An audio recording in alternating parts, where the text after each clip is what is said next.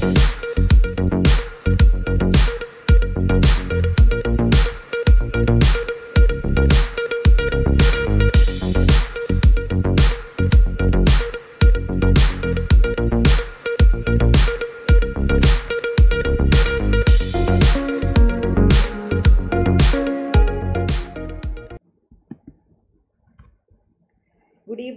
class welcome to S S C tube power by ओले board कैसे हैं आप सभी? सबसे पहले ये बताइए ऑडियो वीडियो क्लियर आ रहा है? I hope audio video clear होगा। गुड इवनिंग विवेक कैसे हैं आप? फटाफट से सेशन ज्वाइन कर लें। सबसे पहले वीडियो को लाइक कर दे और शेयर कर दे ये वाला सेशन बिकॉज़ आज का जो सेशन है, बहुत ही इंटरेस्टिंग होने वाला है। काफ़ी इंटरेस्टिंग यहाँ पर आपके, आज के क्वेश्चंस होने वाले हैं। तो आज की क्लास आपके लिए काफ़ी इंपॉर्टेंट और काफ़ी मज़ेदार होने वाली है। तो जल्दी से सभी के सभी फटाफट से सेशन को ज्वाइन कर लें एंड प्लीज़ इसको शेयर कर दो। सारे जितने भी लोग अभी प्रेजेंट हैं प्लीज़ इसको शेयर कर दो और फटाफट से सेशन ज्वाइन कर लो ताकि हम अपनी आज की क्लास स्टार्ट कर सके। ओके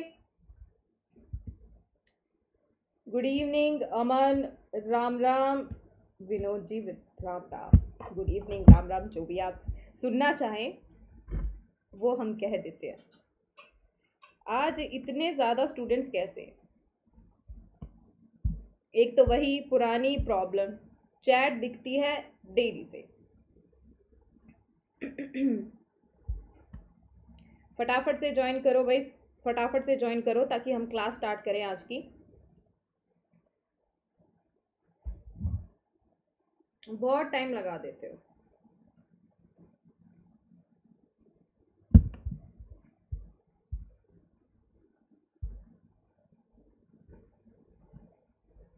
क्या बात है? आज पता नहीं था कि आज क्लास होने वाली है। तुम लोग इतना टाइम लगा रहे हो। अब तक तो आ जाना चाहिए था सभी को। काफ़ी टाइम लग रहा है।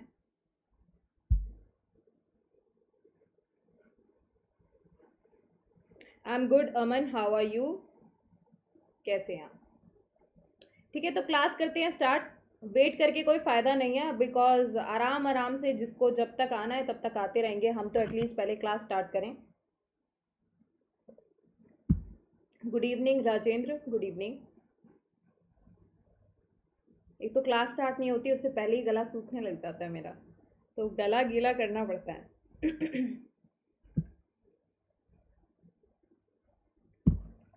टीचर्स और सिंगर्स के लिए उनका गला सबसे ज़्यादा इंपॉर्टेंट है बिकॉज़ हमारा सब कुछ, रोटी, पानी सब इसी से चलता है।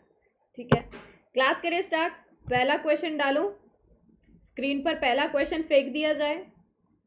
कैच करने के लिए तैयार हो। रेडी और नॉट फटाफट से चैट बॉक्स में लिखो कि आप लोग रेडी हो। पहले क्वेश्चन के लिए आर यू गाइज़ रेडी पहले क्वेश्चन के लिए आप लोग तैयार हैं। डाल दिया जाए।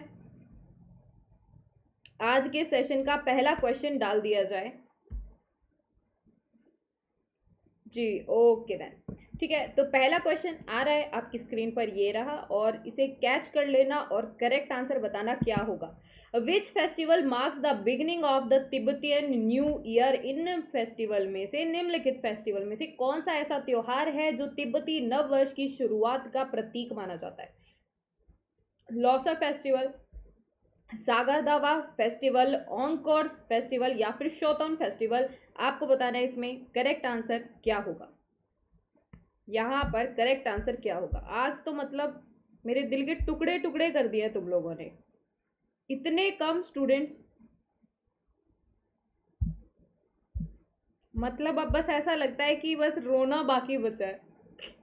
ज़िंदगी में ये क्या हो रहा है? एक टाइम पर फिफ्टी सेवेंटी एट्टी स्टूडेंट्स होते थे लाइव क्लास में और अभी हद हो चुकी है। इनफैक्ट बाकी दिन से भी बुरा हाल है आज का तो। करेक्ट आंसर यहाँ पर क्या होगा? हर्षिल ने आंसर किया है डी राजेंद्र ने आंसर किया है डी विवेक ने आंसर किया है सेकंड सागा दावा। और किसी का आंसर यहाँ पर मुझे नहीं दिख रहा है। करेक्ट आंसर क्या होगा यहाँ पर? करेक्ट आंसर होगा लोसार फेस्टिवल ये जो लोसार फेस्टिवल है, इसको तिब्बतियन का, तिब्बती लोगों का नव वर्ष, यानी कि न्यू ईयर फेस्टिवल इन लोगों का नया साल शुरू होता है। लोसार फेस्टिवल को उसमें मनाते हैं। अच्छा सागा दावा फेस्टिवल ये कहाँ पे मनाया जाता है? सागा दावा। जैसे आपका लोसार फेस्टिवल है, ये मनाया जाता है। इंडिया के अंदर लद्दाख में ऐसे ही सागा दावा फेस्टिवल कहाँ मनाया जाता है? लोसार फेस्टिवल आपको तिब्बत, लद्दाख और ये आपका कौन सा रीजन है? जो आपके पड़ोसी मुल्क हैं। भूटान, नेपाल, यहाँ पर भी लोसार मनाया जाता है। भूटान, नेपाल में भी लोसार मनाया जाता है। न्यू ईयर के तौर पर तिब्बतिन न्यू ईयर के तौर पर मनाया जाता है। सागा दावा फेस्टिवल कहाँ का होगा? सागा दावा कहाँ का होगा? बहुत अच्छे, अमन, बिल्कुल सही करेक्ट आंसर क्या होगा? सिक्किम। सागा दावा फेस्टिवल सिक्किम का है। अच्छा ओंगकार फेस्टिवल और शोतोन फेस्टिवल ये कहाँ मनाए जाते हैं? ये दोनों जो त्योहार है, ये कहाँ पर मनाए जाते हैं? आंसर करो फटाफट। ये कहाँ पर मनाए जाते हैं?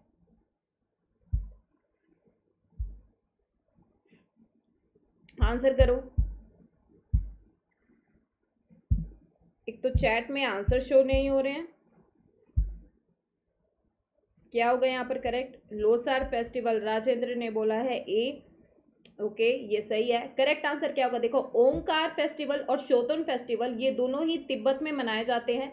ओंकार फेस्टिवल मनाया जाता है आपका जो ओंकोर फेस्टिवल है, ये है आपका तिब्बत का हार्वेस्ट फेस्टिवल यानी कि जब फ़सल उठती है तो जो फेस्टिवल जो त्यौहार मनाया जाता है, उसको बोलते हैं हार्वेस्ट फेस्टिवल और शोतोन फेस्टिवल है इनका ट्रेडिशनल कल्चरल फेस्टिवल ठीक है? सिर्फ़ कल्चर का है। ट्रेडिशनल है मतलब बहुत टाइम से चलता आ रहा है तो ट्रेडिशनल फेस्टिवल है। लेकिन इसमें पूछा है न्यू ईयर फेस्टिवल तो कौन सा होगा? लोसार। नेक्स्ट देखते हैं। विच इंस्ट्रूमेंट एक second when was the Rajiv Gandhi Khel Ratna award instituted Rajiv Gandhi Khel Ratna award कौन से समय पे, कौन से साल में उसकी स्थापना हुई थी? 2002 से 2003 1991 से 92 या फिर 1985 से 86 या 1993 से 94 बताओ करेक्ट आंसर यहाँ पर क्या होगा? करेक्ट आंसर क्या होगा?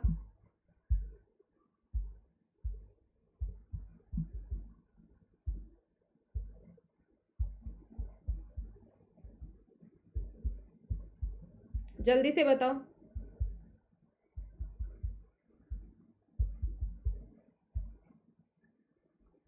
जल्दी से बताओ करेक्ट आंसर क्या होगा यहाँ पर?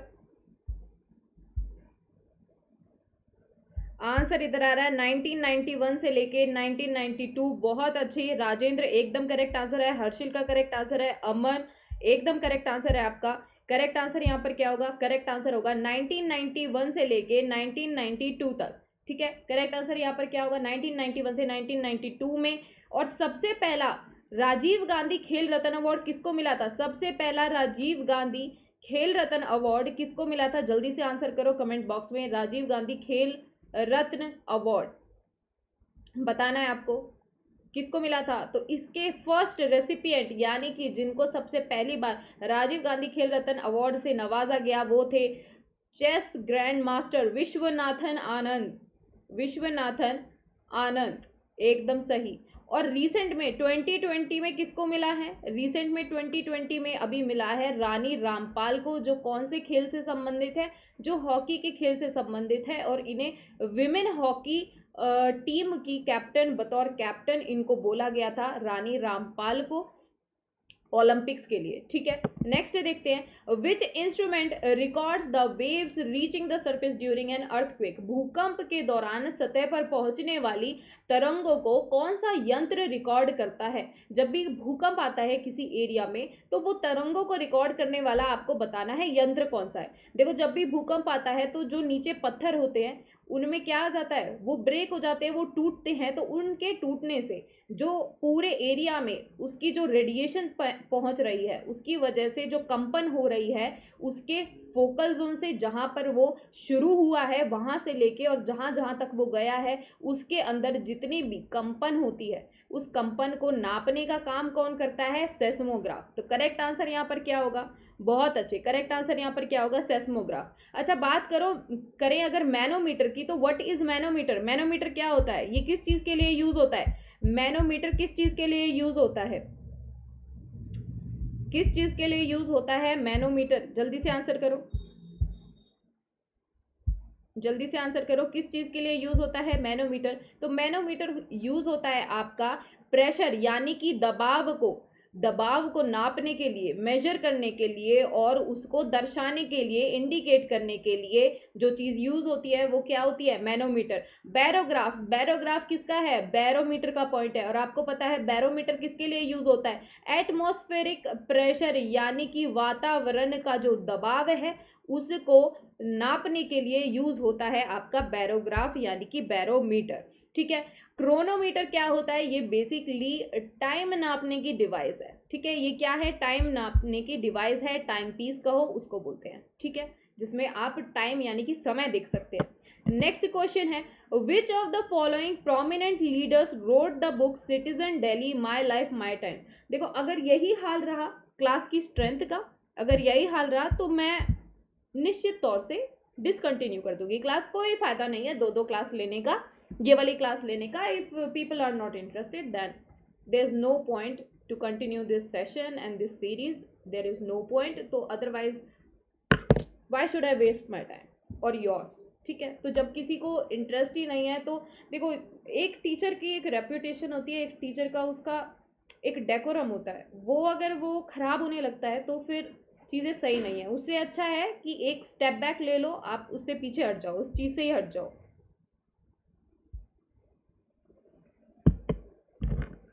I am trying my best doing my best and things are not going in my favour तो अब मुझे देखना है, मैं इसमें क्या कर सकती हूँ? मैं इस बारे में बात करूँगी। करेक्ट आंसर क्या होगा? Citizen Delhi my life my times ये बुक कौन से लीडर ने लिखी है? तो करेक्ट आंसर क्या होगा? आंसर आ रहा है इधर ए आंसर आ रहा है इधर नहीं, आप बताओ कि अगर यहाँ पर सिर्फ़ इतने स्टूडेंट्स रहेंगे तो खुद बताओ। एक टीचर का, आपको भी पता है, जिन्होंने मेरे साथ पिछले उसमें जुड़े हुए हैं, उनको पता होगा कि मेरी क्लास में एटलीस्ट फिफ्टी से अबव स्ट्रेंथ हमेशा रहता था। फिफ्टी से नीचे कभी भी नहीं रहता था। एंड नाउ क्या सिचुएशन चल रही है? बहुत ही मतलब वर्स्ट केस सिनेरियो चल रहा है इस वक्त। वर्स्ट केस कब आएँगे? कब आएँगे? कितनी सदी बाद आएँगे? मुझे दो हफ़्ते से ज़्यादा हो गए हैं और उसके बाद में इससे ज़्यादा तो कल थे। आज क्या हुआ है ऐसा? तो या तो कोई ना कोई चीज़ ऐसी है which is not going right ठीक है करेक्ट आंसर यहाँ पर क्या होगा? करेक्ट आंसर होगा शीला दीक्षित। ये बुक किसने लिखी है? शीला दीक्षित ने। अच्छा अरुण जेटली की बुक का नाम बताएँ। अरुण जेटली की बुक का नाम बताएँ। जल्दी से, अरुण जेटली की बुक का नाम बताएँ। क्या होगा बुक का नाम? क्या होगा बुक का नाम? तो इनकी बुक का नाम होगा a new India a new India बहुत टाइम लगता है यार। पीपीटी बनाने में कंटेंट बनाने में, आप लोगों के सामने लाने में। और डेढ़ घंटे की मैं क्लास लेती हूँ, इतनी देर बोलने में बहुत टाइम लगता है। और फिर बुरा लगना भी लाजमी है। ठीक है? हर्षवर्धन, इनकी बुक का नाम क्या है? दो बूंद दो बूंद ज़िंदगी की। ठीक है? ये आपको पता है, दो बूंद ज़िंदगी की किसका टैगलाइन है?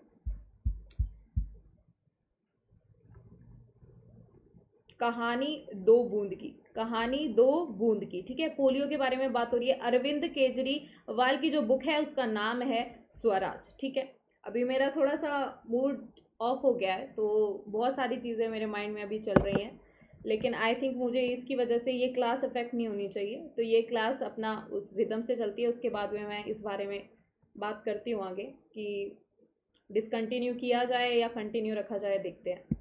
नेक्स्ट है एज पर state census two thousand and eleven which of the following is the least popular state of India 2000 राज्य की जनगणना जो हुई है, राज्य जनगणना 2011 के अनुसार भारत का सबसे कम जनसंख्या वाला राज्य कौन सा है? केरला, उड़ीसा, तमिलनाडु या फिर सिक्किम? करेक्ट आंसर क्या होगा यहाँ पर? करेक्ट आंसर क्या होगा? अमन ने आंसर किया है, सिक्किम, प्रशांत ने आंसर किया है, सिक्किम, विवेक ने आंसर किया है, सिक्किम, हर्षिल ने आंसर किया है, डी। करेक्ट आंसर क्या होगा यहाँ पर? करेक्ट आंसर होगा सिक्किम। लीस्ट पॉपुलस यानी कि सबसे कम जनसंख्या वाला। अगर मैं आपसे पूछूँ मोस्ट पॉपुलस यानी कि सबसे ज़्यादा जनसंख्या वाला, कौन सा राज्य बताया गया है? राज्य गण, जनगणना 2011 के अनुसार सबसे ज़्यादा पॉपुलेशन वाला, सबसे ज़्यादा आबादी वाली स्टेट बतानी है आपको। नमस्ते रितेश, कैसे हैं आप? आपको बतानी है स्टेट बहुत अच्छे, विवेक, एकदम सही। करेक्ट आंसर क्या है? यूपी यानी कि उत्तर प्रदेश। उत्तर प्रदेश में सबसे ज़्यादा आबादी है, वहीं सबसे कम आबादी किसके अंदर है? सबसे कम आबादी है सिक्किम में।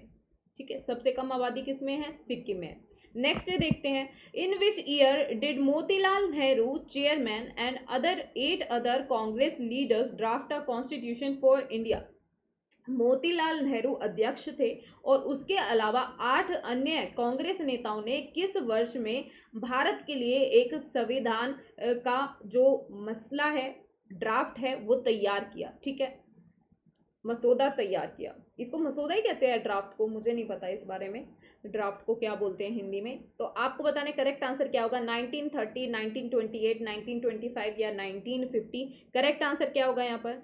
Good evening broken heart right now my heart is broken for the very obvious reason कि इतनी ज़्यादा जो स्ट्रेंथ है, इसकी वजह से टुकड़े टुकड़े हो गए। और हज़ारों की संख्या में टुकड़े हुए हैं मेरे दिल के। आंसर क्या होगा इधर? करेक्ट आंसर क्या होगा यहाँ पे? करेक्ट आंसर क्या होगा? आंसर आया, विवेक ने बोला है नाइनटीन थर्टी, प्रशांत ने बोला है नाइनटीन थर्टी। ओके, और किसी का आंसर? और किसी का आंसर इधर? राजेंद्र ने बोला है nineteen twenty eight. Okay. Correct answer क्या होगा? मौके पे चौका नाम आ रहे राकेश, ठीक है? संभल के रहें, क्योंकि इस वक्त मेरा टेम्परामेंट बहुत ज़्यादा अलग ही चल रहा है। ठीक है करेक्ट आंसर क्या होगा? 1928 और डेट क्या है? 19 मई 1928 में मोतीलाल नेहरू, जिनके साथ में और आठ अदर कांग्रेस लीडर थे, इन्होंने मिलके क्या किया? कॉन्स्टिट्यूशन के लिए एक हमारे संविधान के लिए एक ड्राफ्ट तैयार किया कि किस हिसाब का संविधान होना चाहिए। नेक्स्ट क्वेश्चन है who designed the first analogue computer in India किसने भारत में पहला एनालॉग कंप्यूटर डिज़ाइन किया था? समेंद्र कुमार गुप्ता सॉरी समेंद्र कुमार मित्रा, बिमल कुमार भट्टाचार्य, देव कुमार बोस या फिर सुबोध चंद्र दास गुप्ता? करेक्ट आंसर क्या होगा यहाँ पे? करेक्ट आंसर क्या होगा इधर? जल्दी से बताओ, यहाँ पर करेक्ट आंसर क्या होगा? सबसे पहला एनालॉग कंप्यूटर इंडिया में किसने डिज़ाइन किया?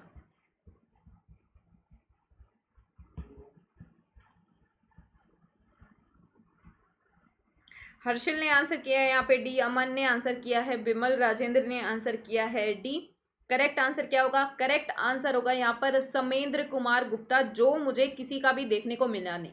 करेक्ट आंसर क्या होगा यहाँ पर? समेंद्र कुमार गुप्ता। इसमें इस एनालॉग कंप्यूटर जो इन्होंने डिज़ाइन किया था, इसमें क्या था कि लीनियर इक्वेशंस इसमें डिज़ाइन की गई थी। लीनियर इक्वेशंस जो दस वेरिएबल्स के साथ में आई थी। डिज़ाइन किया था समेंद्र ने, लेकिन इसको कंस्ट्रक्ट किसने किया? इसको बनाने वाले कौन थे? डिज़ाइन तैयार करके दिया समेंद्र कुमार मित्रा ने, लेकिन इट वॉज़ कंस्ट्रक्टेड बाय यानी कि बनाया किसके द्वारा गया? आई S I I S I मतलब इंडियन स्टैंडर्ड्स इंस्टीट्यूट जो इंडिया में स्टैंडर्ड्स यानी कि पैमाने निर्धारित करते हैं कि किस हिसाब के स्टैंडर्ड है, किस हिसाब की क्वालिटी है। उसने इसको डिज़ाइन कंस्ट्रक्ट किया, यानी कि बनाया कौन से ईयर में? 1953 कौन से ईयर में? 1953 में आईएसआई यानी कि इंडियन स्टैंडर्ड्स इंस्टीट्यूट ने इस पहले एनालॉग कंप्यूटर को बनाया, जिसकी, जिसका डिज़ाइन तैयार किया था समेंद्र कुमार मित्रा ने। नेक्स्ट क्वेश्चन देखते हैं which planet is made up of thick white and yellowish clouds of sulphuric acid इनमें से कौन सा ऐसा ग्रह है जो सल्फ्यूरिक एसिड के घने, सफ़ेद और पीले बादलों से बना है? यूरेनस मार्स वीनस या फिर नेपच्यून करेक्ट आंसर क्या होगा यहाँ पर? करेक्ट आंसर इधर क्या होगा? करेक्ट आंसर इधर क्या होगा? इनमें से कौन सा ऐसा ग्रह है? अच्छा सल्फ्यूरिक एसिड से कल हमने एक क्वेश्चन किया था कि सल्फ्यूरिक एसिड है, इसका कॉमन नेम क्या है? सल्फ्यूरिक एसिड को किस नाम से जानते हैं? जल्दी से आंसर करो। जल्दी से आंसर करो कि सल्फ्यूरिक एसिड को किस नाम से जानते हैं। क्या होगा? क्या होगा करेक्ट आंसर सल्फ्यूरिक एसिड को किस नाम से जानते हैं? आंसर इधर आया विनोद ने बोला है, ए, प्रशांत ने बोला है, यूरेनस, हर्षल ने बोला है, डी, अमन ने बोला है, वीनस, राजेंद्र ने बोला है, डी। बहुत अच्छे अमन, एकदम सही ऑयल ऑफ़ विट्रॉयल क्या होगा? इसका कॉमन नाम क्या होगा? Oil of vitriol correct answer होगा, इसका नाम होगा। और इसमें पूछा है कि सल्फ्यूरिक एसिड के व्हाइट कलर के और येलो कलर के, सफ़ेद और पीले रंग के बादल बनाता है किसमें? वीनस में। किसके उधर? वीनस के एटमोस्फेयर में बनाता है सल्फ्यूरिक एसिड के बादल। नेक्स्ट देखते हैं। What is the provision of article 49 of the constitution of India यानी कि भारत के संविधान के अनुच्छेद 49 में क्या प्रावधान है? अनुच्छेद उनचास में क्या प्रावधान है? ठीक है, मैं, मेरी हिंदी में काउंटिंग थोड़ी वीक है तो अगर मैं कुछ गलत बोलूँ तो मुझे बता देना। ठीक है ऑप्शन है आपके बच्चों के लिए निशुल्क और अनिवार्य शिक्षा का प्रावधान या फिर प्राकृतिक महत्व के स्मारकों और स्थानों और वस्तुओं का संरक्षण या फिर कारखानों और खानों में बच्चे चौदह वर्ष की आयु से कम, जो बच्चे हैं, उनके रोज़गार पर प्रतिबंध है या फिर अंतर्राष्ट्रीय शांति और सुरक्षा को बढ़ावा देना क्या आएगा? किसके अंतर्गत है ये? आंसर इधर आ रहा है, Harshil Singh D Vivek Singh second Ritesh Singh peace and security.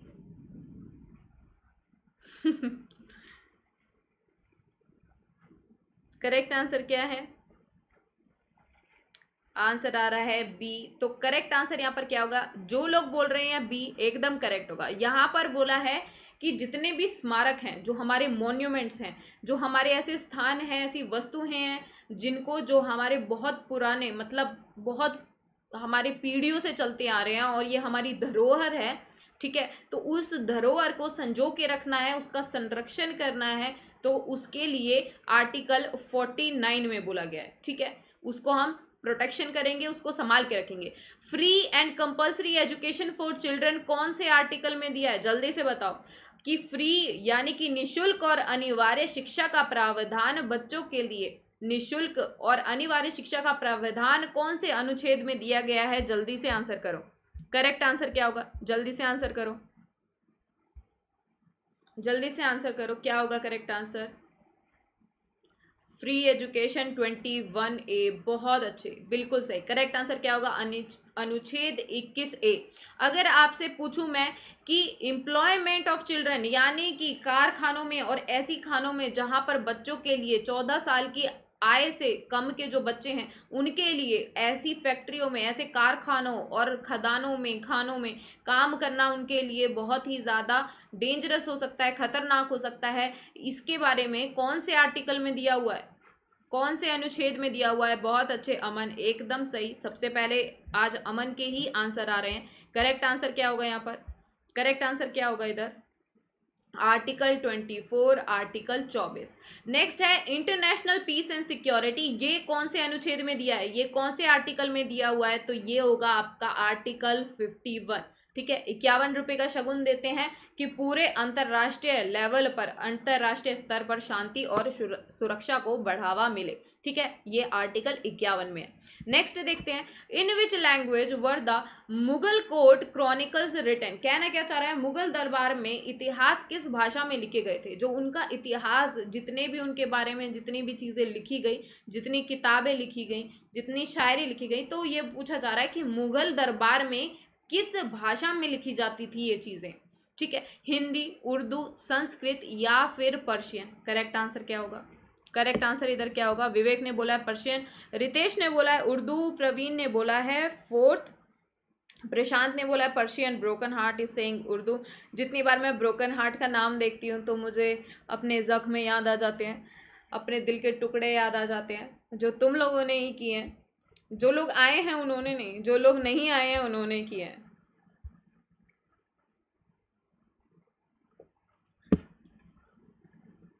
हमें तो अपनों ने लूटा, गैरों में कहाँ दम था? मेरी किश्ती वहाँ डूबी जहाँ पानी कम था। तो ये मेरे साथ मेरे खुद के स्टूडेंट्स ने किया है। अब क्या करें? क्या कह सकते हैं जब अपने ही लोग साथ ना दे तो? करेक्ट आंसर क्या होगा? करेक्ट आंसर होगा, इधर पर्शियन। ठीक है? तो इसमें जो आपकी जितनी भी, जैसे आपका अकबरनामा है अकबरनामा है, आपका एन ए अकबरी है, ये सारी चीज़ें किसमें लिखी गई थी? ये सारी आपकी, ये जितनी भी चीज़ें थी, ये पर्शियन में लिखी गई थी। जबकि बाबरनामा था, जो बाबरनामा था, वो टर्किश लैंग्वेज से बदल के किसमें किया गया? उसकी ट्रांसलेशन की गई टर्किश से पर्शियन के अंदर। तो यहाँ पर जितने भी मुगल दरबार में जो भी चीज़ें लिखी जाती थी, सारी पर्शियन, यानी कि फारसी फारसी में लिखी जाती थी। ठीक है? नेक्स्ट है who among the following is not an Indian weightlifter आपको बताना है, इनमें से कौन सा वेट लिफ्टर नहीं है? दीपिका पलिकल, मीराबाई छानू, राखी हल्दर या फिर कर्णम मलेश्वरी? क्या होगा करेक्ट आंसर ये मैं किस किस को जाके बोलूँ अमन कि मेरी क्लास में जितने बच्चे आते हैं, वो एक एक सौ के बराबर हैं। ठीक है? तो अगर दस आ रहे हैं तो समझ लो अगर एक सौ के बराबर है तो समझ लो फिर हज़ार आ गए बच्चे, है ना? किस किस को जाके बोलो? करेक्ट आंसर क्या होगा इधर? अमन ने आंसर किया ए, रितेश ने बोला है, दीपिका, ब्रोकन हार्ट ने बोला ए, राजेंद्र ने बोला ए। करेक्ट आंसर क्या होगा? बिल्कुल सही, करेक्ट आंसर होगा दीपिका पलिकल। ये इंडियन वेट लिफ्टर नहीं है। बाकी सब कैसे हैं? ये भी वेट लिफ्टर हैं, ये भी वेट लिफ्टर हैं, ये भी वेट लिफ्टर हैं। अच्छा दीपिका दीपिका पलिकल है, ये कौन से खेल से संबंधित हैं? कौन से खेल से संबंधित हैं दीपिका पलिकल? बहुत अच्छे अमन, एकदम सही। करेक्ट आंसर है आपका। क्या होगा? स्क्वाश ये कौन से खेल से संबंधित है? स्क्वाश से संबंधित है। फिर आती है आपकी मीराबाई छानू आपको पता है इनको अभी क्या मिला था? कौन सा पदक मिला था? सिल्वर मेडल मिला था टोक्यो 2020 ओलंपिक्स में। टोक्यो 2020 ओलंपिक्स में इनको सिल्वर मेडल मिला था। सिल्वर मेडल मिला था। राखी हल्दर, ये नेशनल लेवल की वेट लिफ्टर नेशनल लेवल की चैंपियन है और राखी हल्दर को अभी कुछ टाइम पहले जो एशिया चैंपियनशिप हुए थे, उसमें इनको डोप टेस्ट क्लियर करने में ये फेल हो गई। इनका डोप टेस्ट पॉजिटिव पाया गया और इसके लिए इन्हें डिसक्वालीफाई कर दिया गया, सस्पेंड कर दिया गया। ठीक है, ये भी वेट लिफ्टर हैं। ये आई थिंक सिक्सटी टू के जी की वेट लिफ्टर हैं और मीराबाई छानू ने जीता है फोर्टी नाइन के जी वेट में। कर्णम मल्लेश्वरी, आपको पता है, ये पहली ऐसी भारतीय महिला थी जिन्हें ब्रॉन्ज मेडल मिला था, जिन्हें ब्रॉन्ज मेडल मिला था, जिन्हें कोई मेडल मिला था ओलंपिक्स में, ब्रॉन्ज मेडल मिला था। 2000 में ओलंपिक्स में इन्हें ब्रॉन्ज मेडल मिला था। और किसमें मिला था? वेट लिफ्टिंग में मिला था। नेक्स्ट देखते हैं। In which of the following years did Mahatma Gandhi launch Champaran Satyagraha इनमें से कौन से निम्नलिखित में से किस वर्ष में महात्मा गांधी ने चंपारण सत्याग्रह शुरू किया था? 1917, 1922, 1927 या फिर 1914 करेक्ट आंसर क्या होगा यहाँ पर? करेक्ट आंसर क्या होगा इधर?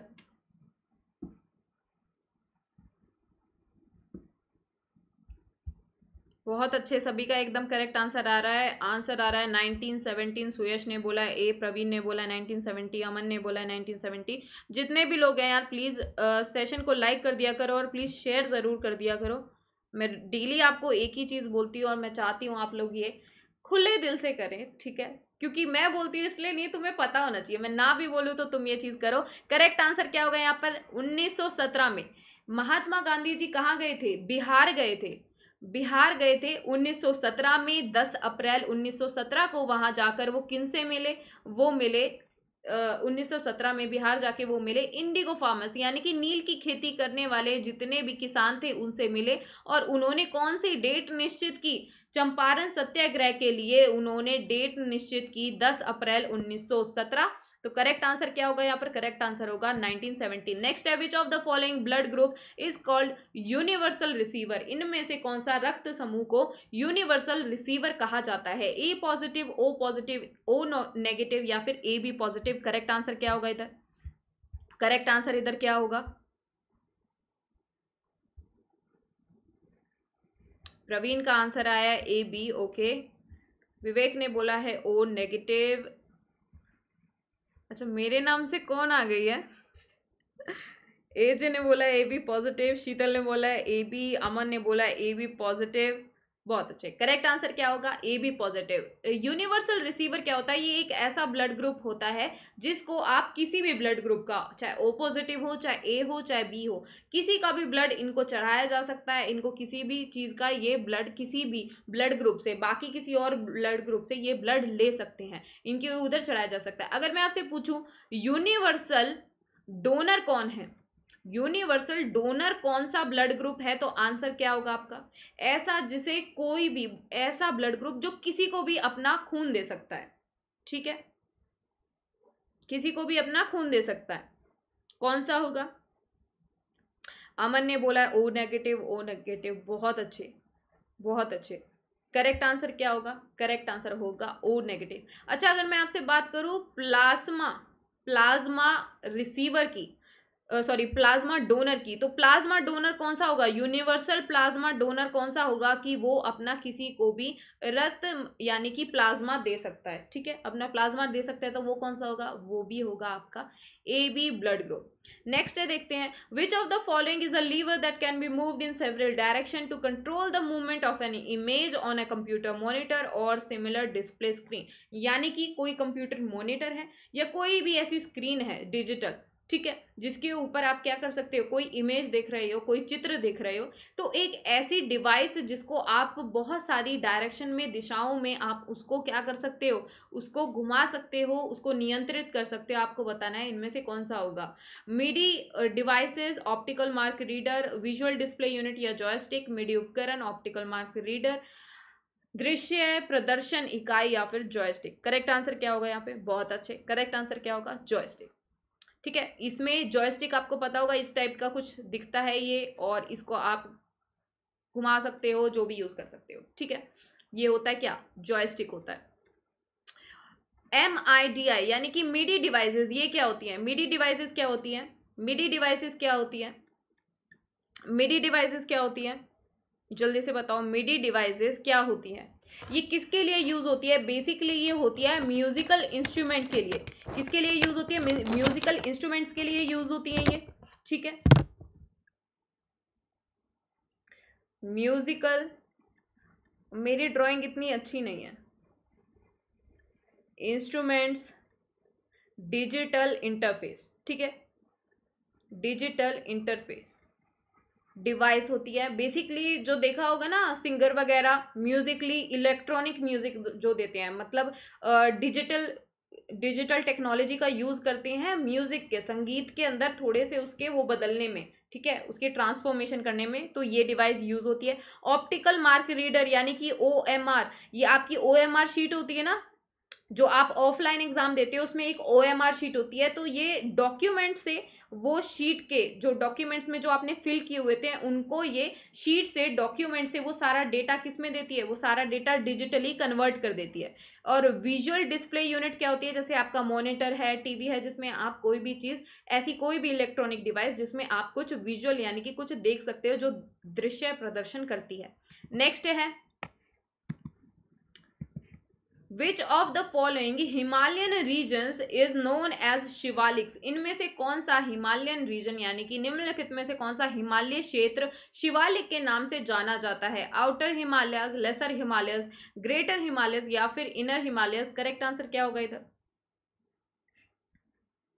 करेक्ट आंसर इधर क्या होगा?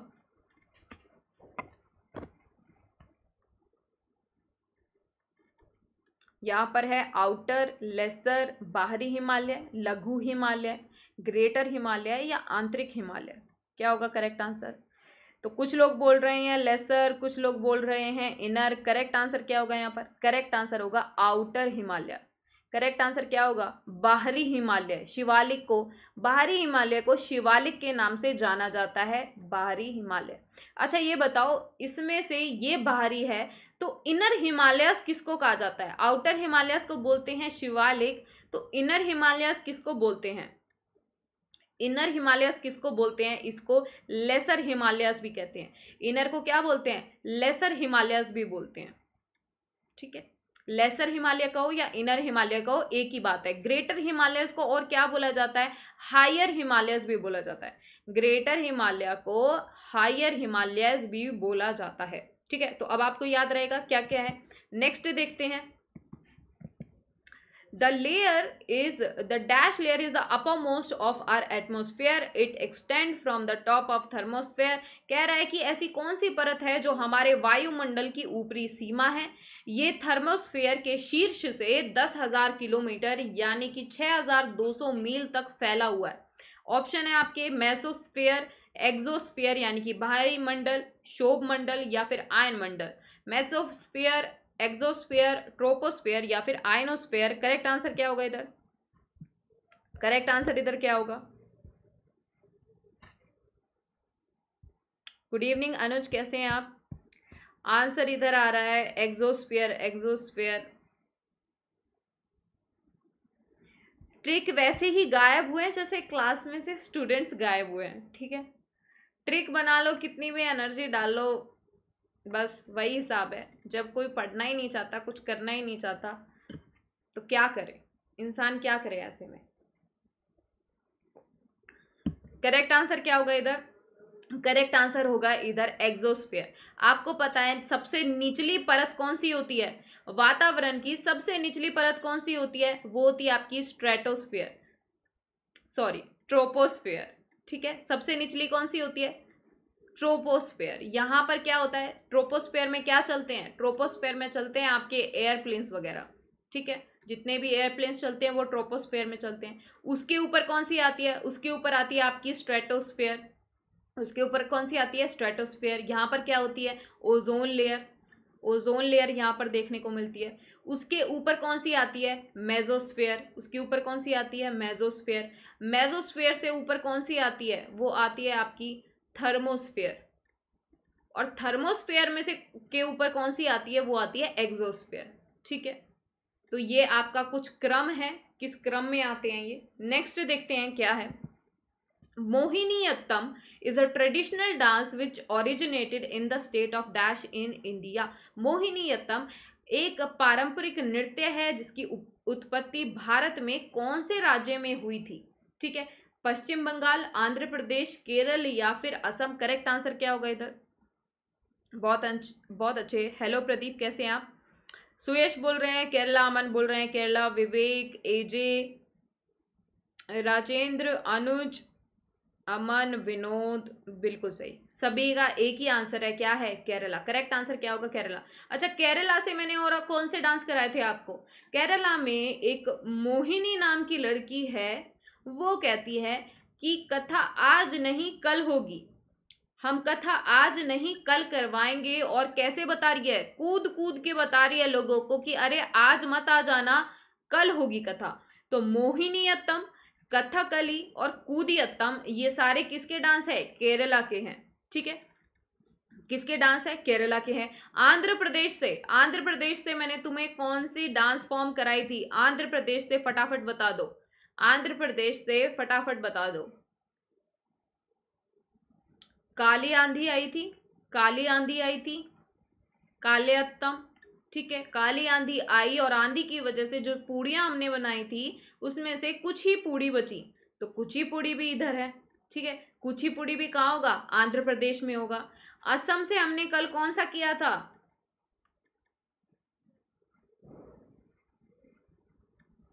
सतारिया डांस। किससे? असम से। सतारिया डांस। किससे था? असम से था। वेस्ट बंगाल से क्या किया था? बेंगल से याद करवाया था। बेंगल से याद कराया था कि वेस्ट की औरतें बेंगल्स पहन के क्या करने गई? कीर्तन करने गई, ठीक है? क्या करने गई? कीर्तन करने गई और क्या करने गई? जागरण से, कीर्तन और जागरण। जारदन, ठीक है? जारदो जारदो है। जारदो भी कहाँ का डांस है? वेस्ट बंगाल का। नेक्स्ट देखते हैं। नेक्स्ट कौन सा है? हाँ। ये क्या हो रहा है? आज बहुत ज़्यादा क्वेश्चन आगे निकलते जा रहे हैं। Which of the following best define net national income इनमें से कौन सा? नेट नेशनल इनकम यानी कि निम्नलिखित में से कौन सा? शुद्ध राष्ट्रीय आय को सर्वोत्तम रूप से परिभाषित करता है। GDP minus depreciation GNP minus depreciation NDP minus depreciation या फिर G NP plus depreciation correct answer क्या होगा इधर? करेक्ट आंसर क्या होगा इधर?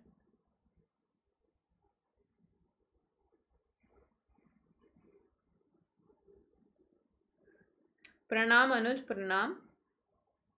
हर्षल ने बोला है बी अमन ने बोला है बी एंड विवेक ने बोला है सेकंड करेक्ट आंसर क्या होगा? बिल्कुल सही। नेट नेशनल इनकम क्या होती है? नेट नेशनल इनकम क्या होती है?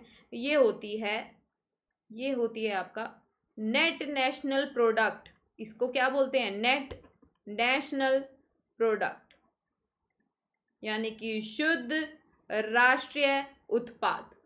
ये कब आता है? जब सकल घरेलू उत्पाद, यानी कि सकल राष्ट्रीय उत्पाद है, यानी कि ग्रॉस नेशनल प्रोडक्ट है, उसमें से हम क्या कर देते हैं? उसमें से हम डेप्रीशिएशन यानी कि मूल्य ह्यास डेप्रिशिएशन क्या होता है? जो आपकी मशीनें हैं, उनको आप यूज़ कर रहे हो तो हर साल उनकी जो वैल्यू उनका जो मूल्य घटता जा रहा है तो उसको हर साल थोड़ी आप इंक्लूड करोगे। आज आपने पाँच लाख की मशीन ली है तो क्या अगले साल वो पाँच लाख की रहेगी? नहीं, उसकी, उसका मूल्य घट जाएगा, क्योंकि एक साल आपने उसको यूज़ भी तो किया है। एक साल उसकी जो कीमत है, उसमें कमी आएगी, क्योंकि आपने क्या किया है? उसको इस्तेमाल कर लिया है। उसका कुछ आपने जो उसकी एफिशिएंसी है, उसके जो काम करने की क्षमता है, उसको एक साल तक इस्तेमाल किया है तो अब वो अगले साल चार लाख, उससे अगले साल तीन लाख तो इससे हम जब भी मूल्य ह्रास यानी कि डेप्रिशिएशन लेस करेंगे तो एक्चुअल यानी कि निचोड़ यानी कि शुद्ध राष्ट्रीय आय निकल के आएगी।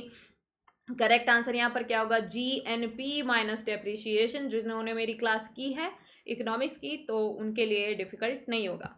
नेक्स्ट है Ramnath Kovind assumed office as the dash president of India on 25 July 2017 को। रामनाथ कोविंद जी, जो कि हमारे राष्ट्रपति बने तो आपको बताना है, वो कौन से नंबर के राष्ट्रपति बने?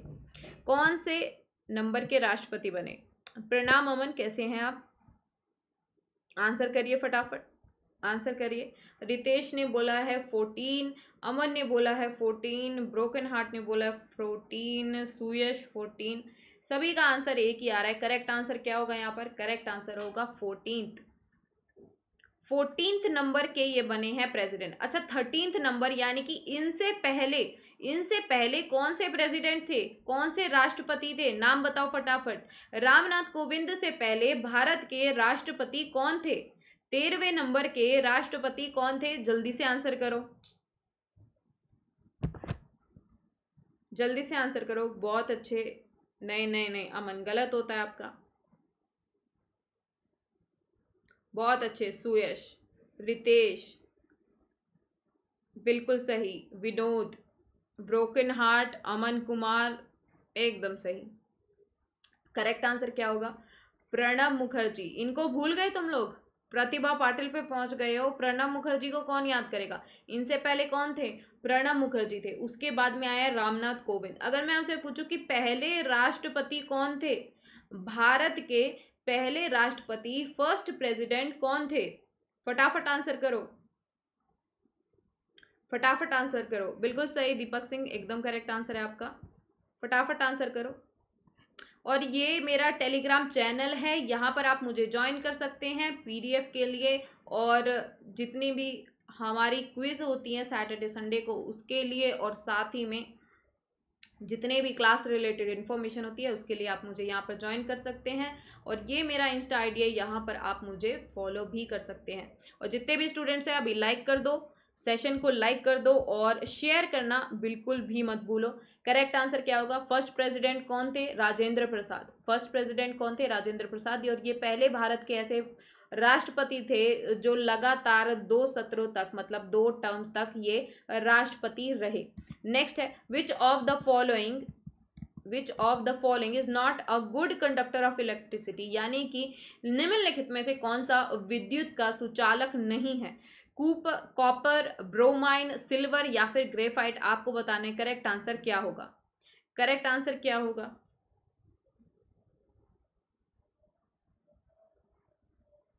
बहुत अच्छे, सुयश, अमन, अनुज अनुज का गलत होता है गेस विनोद एकदम सही है। राजेंद्र आपका गलत होता है करेक्ट आंसर क्या होगा? करेक्ट आंसर होगा bromine bromine is a bad conductor मतलब वो विद्युत के सुचालक नहीं है कौन? ब्रोमाइन अच्छा ब्रोमाइन की डिस्कवरी किसने की? ब्रोमाइन की डिस्कवरी किसने की?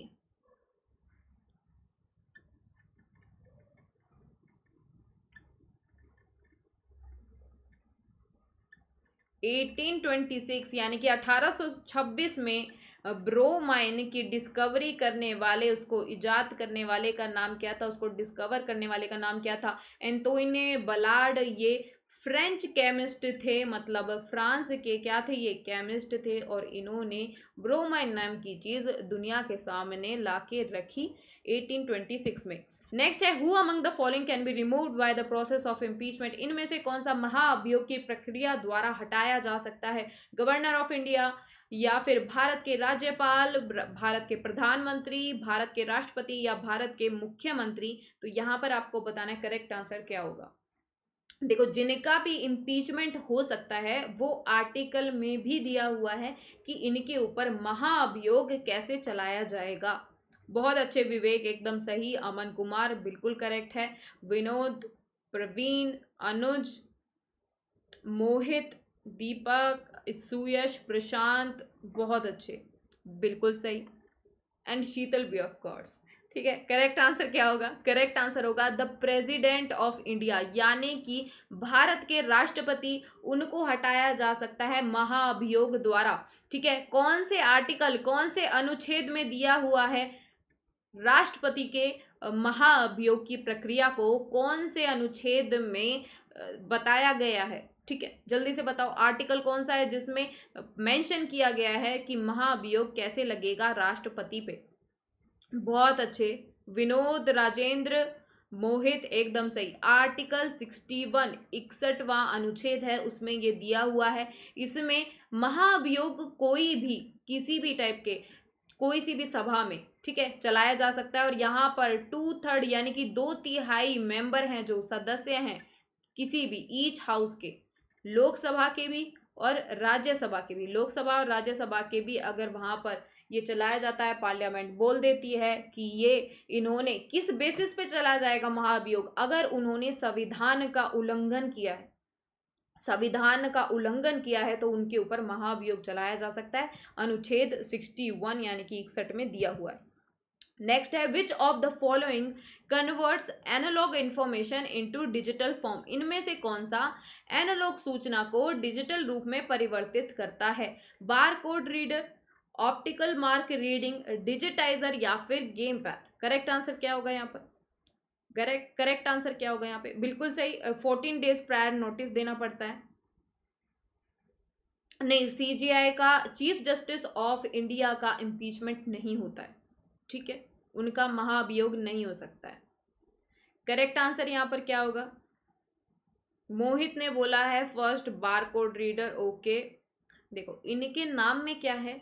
कि किसी चीज़ को एनालॉग इन्फॉर्मेशन को मतलब ऐसी जो आपकी मैनुअल है एनालॉग फॉर्म में है, उसको कैसे कन्वर्ट कर रहा है, वो डिजिटल में कन्वर्ट कर रहा है, उसको डिजिटली दिखा रहा है तो वो क्या होगा? डिजिटाइजर डिजिटाइजर का काम ही क्या है?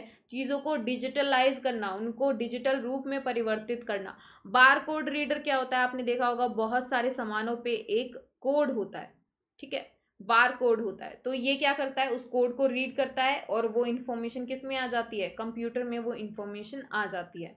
ठीक है? ऑप्टिकल मार्क रीडिंग ये क्या करती है? ये जितना भी आपका डॉक्यूमेंट होता है, उसमें आपने जो फुल फिल किया होता है, ये उस डेटा को, उस डेटा को किसमें ले आती है? उस डेटा को डिजिटली कन्वर्ट करती है। लेकिन जब हम बात करते हैं एनालॉग इन्फॉर्मेशन की, उसको बदलने वाला डिजिटल फॉर्म में करने वाला, उसको बोला जाता है डिजिटाइजर ठीक है? यहाँ पर क्या है? ये डॉक्यूमेंट्स को बदलता है। मतलब पेपर वर्क को मतलब कागज़ी चीज़ों को। कागज़ी जो आपके कागज़ हैं, उस पर लिखी हुई जो भी आपकी इंफॉर्मेशन है, उसको बदलता है डिजिटल फॉर्म में, ना कि एनालॉग इंफॉर्मेशन को। एनालॉग सूचना को नहीं बदलता। नेक्स्ट है patriotic song Saare Jahan Se Achha was compose by Bankim Chandra Chatterjee Rabindranath Tagore Allama Mohammad Iqbal या फिर बिस्मिल अजीमाबादी करेक्ट आंसर क्या होगा? करेक्ट आंसर क्या होगा?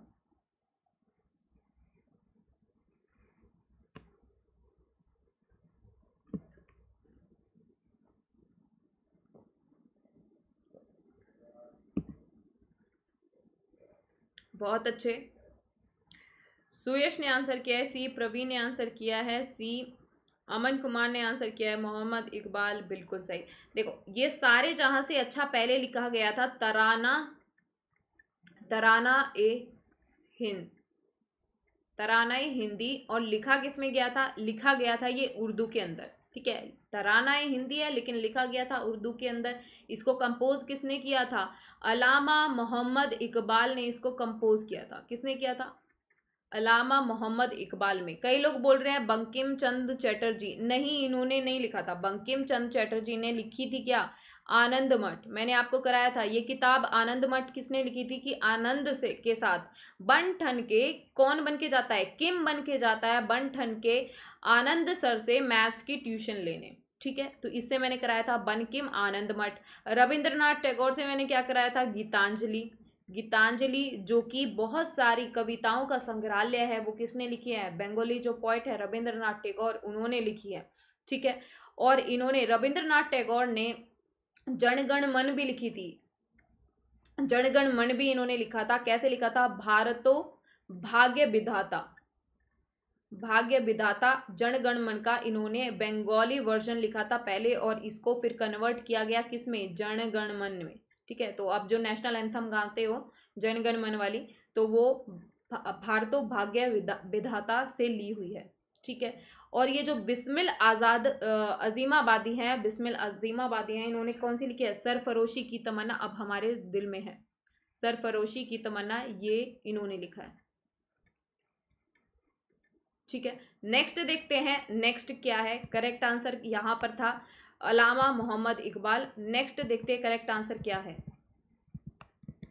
Which of the following is an economic system in which capital goods are owned by private individuals or businesses and the production of कहना क्या चाहता है? कहना ये चाहता है कि इनमें से कौन सी ऐसी आर्थिक प्रणाली है जिसमें पूंजीगत वस्तुओं का जो स्वामित्व होता है, वो निजी व्यक्तियों पर होता है या निजी व्यवसायों के पास होता है और वस्तु और सेवाओं का जो उत्पादन किया जाता है, वो सामान्य बाज़ार में उसकी आपूर्ति और मांग क्या है उस पर आधारित होता है।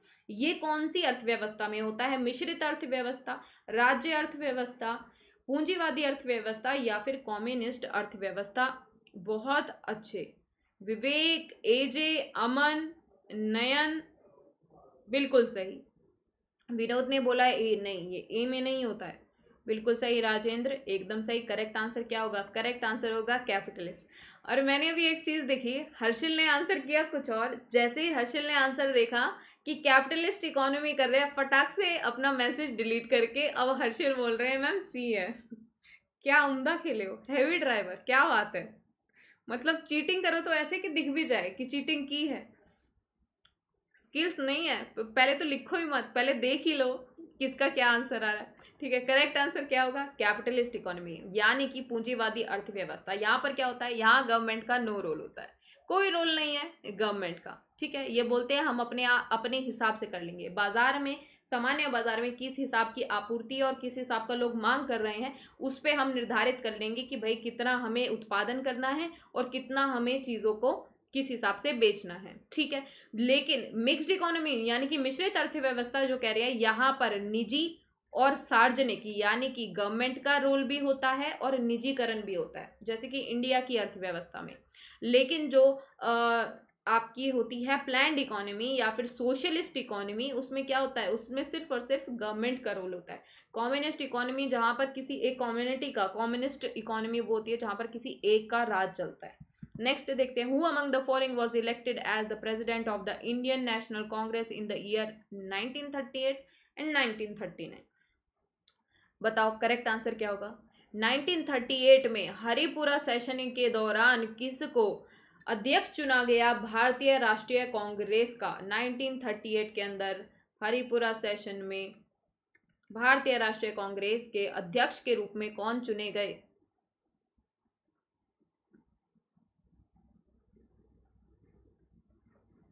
आंसर इधर आ रहा है सुभाष चंद्र बोस। बहुत अच्छे बहुत अच्छे। सभी का आंसर एक ही आ रहा है। वेरी नाइस करेक्ट आंसर क्या होगा? सुभाष चंद्र बोस।